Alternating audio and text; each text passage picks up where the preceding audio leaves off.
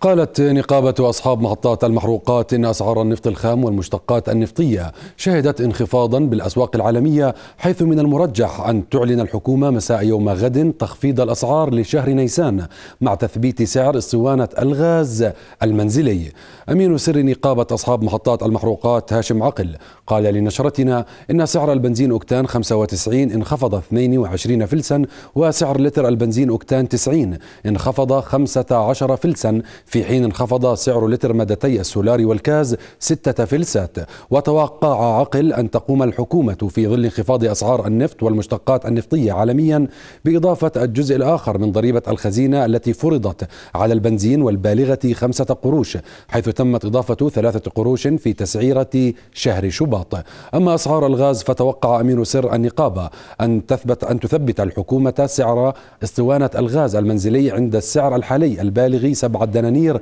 رغم ارتفاع الأسعار عالميا بواقع 200 دولار للطن الواحد.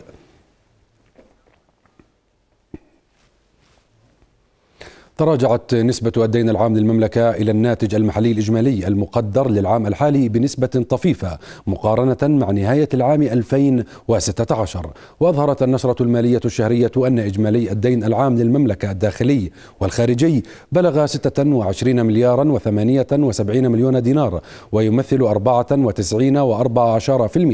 من الناتج المحلي الإجمالي المقدر لعام 2017 وأشارت النشرة إلى ارتفاع صافي الدين العام العام. في نهاية شهر كانون الثاني من العام الحالي عن مستواه في نهاية عام 2016 بمقدار 103 ملايين و400 ألف دينار لتمويل عز الموازنة العامة والقروض المكفولة لشركة الكهرباء الوطنية وسلطة المياه ليصل إلى حوالي 24 مليارا و182 مليونا و900 ألف دينار. وبينت النشرة أن مديونية شركة الكهرباء الوطنية وسلطة المياه بلغت نحو 7 مليارات و600 مليون مليون دينار لنهاية كانون الثاني الماضي.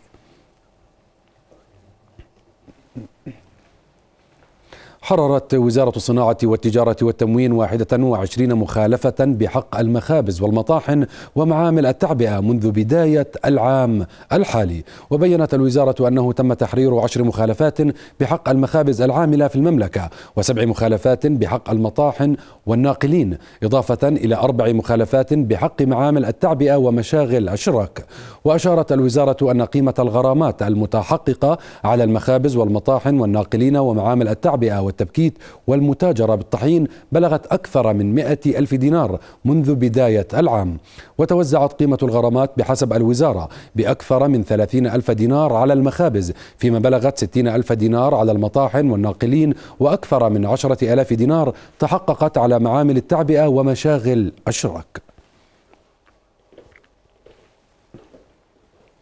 وإلى أداء بورصة عمان فقد بقي حجم التداول ضمن مستويات مرتفعة ولكن بوتيرة أقل في حين انخفض مؤشر الأسعار للأسهم عن المستويات المرتفعة التي سجلها سابقا حيث أظهرت 43 شركة من أصل 123 شركة تراجعا في أسعارها. وعن مستويات الأسعار أظهرت المؤشرات انخفاض الرقم القياسي العام لأسعار الأسهم لإغلاق هذا اليوم إلى 2250 نقطة بانخفاض نسبته 12% بدعم من القطاع الصناعي الذي انخفض المؤشر العام لأسعاره 1.12%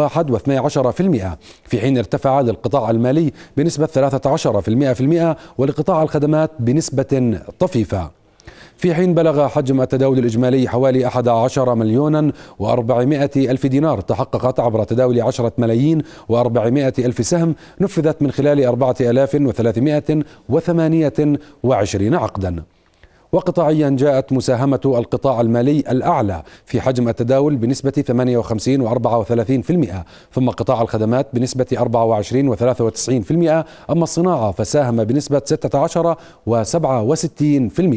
أما الشركات الأكثر ارتفاعا في أسعار أسهمها فهي التأمين العربية الأردن بنسبة 7.5% السلام الدولية للنقل والتجارة بنسبة 5% أما الأكثر انخفاضا فهي العالمية للوساطة والأسواق المالية بنسبة 6.4% وادي شتاء للاستثمارات السياحية بنسبة 5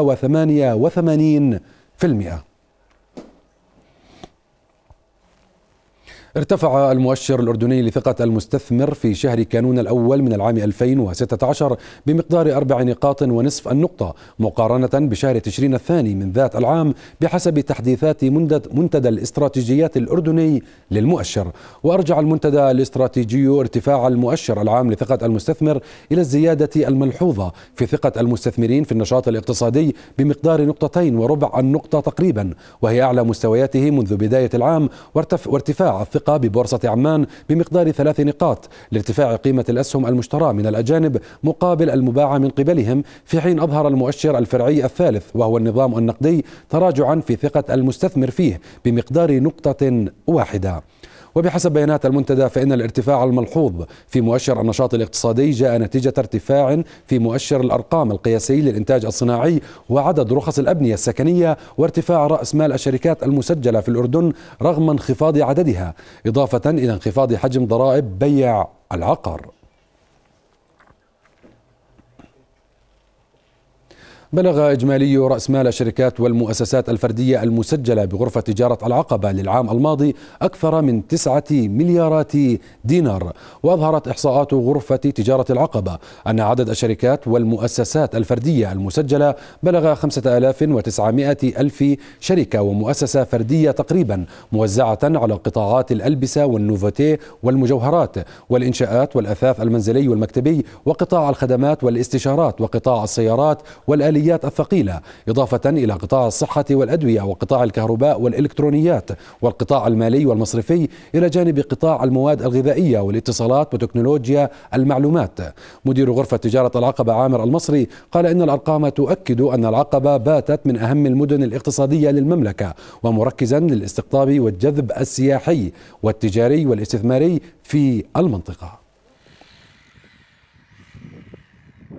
بلغ عدد الشركات والمؤسسات المسجلة في مدينة العقبة والمنتسبة لغرفة تجارة العقبة للعام 2016 حوالي 6000 شركة ومؤسسة من ضمنها 2500 شركة. ويبلغ رأس مال هذه الشركات والمؤسسات العامل في مدينة العقبة 9 مليارات و450 مليون دينار لكافة القطاعات التجارية والاقتصادية في مدينة العقبة. يراقب المستثمرون تداعيات بدء انفصال بريطانيا رسميا عن الاتحاد الأوروبي الذي بدأ يوم أمس على الأسواق المالية. الأسهم الأوروبية تحاول أن تحصل على اتجاه في المعاملات المبكرة اليوم رغم أنها لم تتأثر بشدة ببدء عملية الانسحاب الرسمي وحصل بعضها على دعم من ارتفاع أسعار أسهم شركات النفط. أما أسعار الذهب فاستطاعت أن تحد من الخسائر التي منيت بها بسبب الضبابية الاقتصادية المتعلقة بخروج بريطانيا من الاتحاد الأوروبي وقت واقتراب موعد الانتخابات الفرنسية حيث يعتبر الذهب عادة استثمارا بديلا في أوقات الضبابية السياسية والمالية.